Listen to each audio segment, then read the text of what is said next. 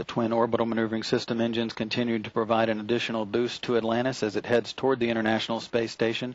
That OMS assist uh, should wrap up in the next uh, 15 seconds or so. All continuing to go very smoothly with Atlantis' trip to the International Space Station. On board, uh, Rick Sturckow in the forward left seat, Lee Archambault in the uh, forward right seat, Pat Forrester, the flight engineer, between them.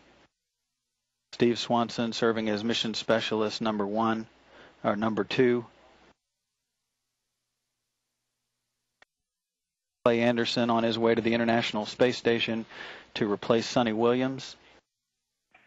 Atlantis, press to ATO. Copy, Houston, press to ATO. Five minutes, 30 seconds into the flight. Atlantis can reach orbit on two engines now, should one fail. However, all three are still performing as planned.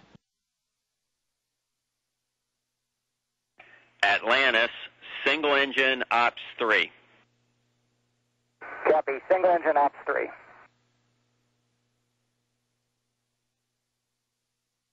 Five minutes, 55 seconds into the flight. Atlantis beginning to roll to a heads-up position, the onboard guidance system putting Atlantis on a trajectory toward the International Space Station. Atlantis, single engine, Zaragoza 104. Copy, single engine, Zaragoza 104. And that call uh, means that Atlantis can reach Zaragoza in Spain on one engine. Press to MECO. Copy, Houston. Press to MECO.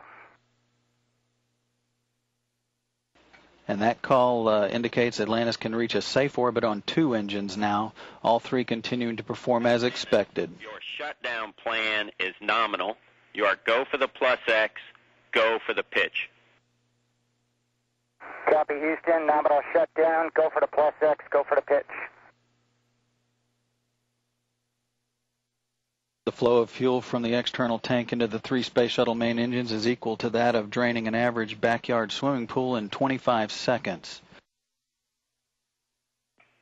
Atlantis, single engine press 104. Copy, Houston. Single engine press. And that call from Tony Antonelli here in Mission Control indicating Atlantis can reach orbit on one engine now should two fail. All three engines are still performing as expected, approaching 7 minutes, 30 seconds into the flight. Atlantis is traveling 19,000 miles per hour, downrange from the Kennedy Space Center 640 miles, altitude 64 miles. Awaiting Atlantis' arrival and with great anticipation is the Expedition 15 crew. Aboard the International Space Station, Commander Fyodor Yurchikhin, Flight Engineer Oleg Kotov, and Flight Engineer Suni Williams, who will come home aboard Atlantis after six months in space.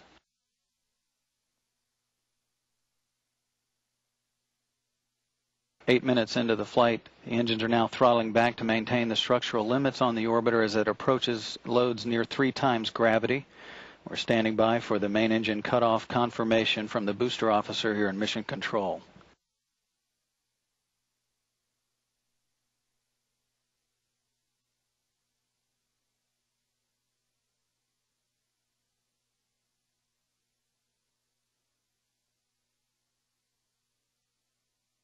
Main engine cutoff confirmed 8 minutes 35 seconds into the flight.